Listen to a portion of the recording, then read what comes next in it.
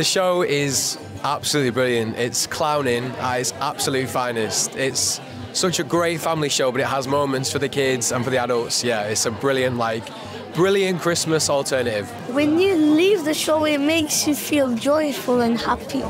I really enjoyed the show because I like going on adventures and it was adventurous and it made me feel really happy. It's good and it was very funny. I think a lot of the songs, like just a lot of the interaction, cast interactions and stuff, yes, it's good fun. I thought it was going to be a family show, but it's, it's definitely a show for everyone. And We feel like we've been on a journey, don't Yeah.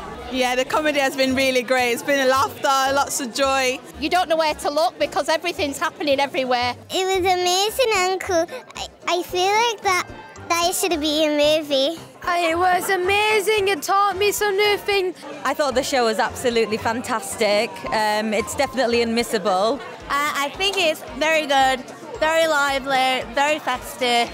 I loved the show. It was so funny, so great. You just have to see it.